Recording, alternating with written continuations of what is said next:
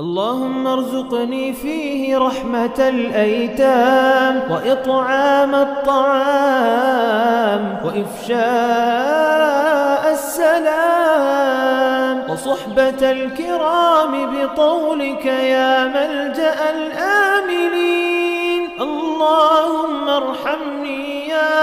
أرحم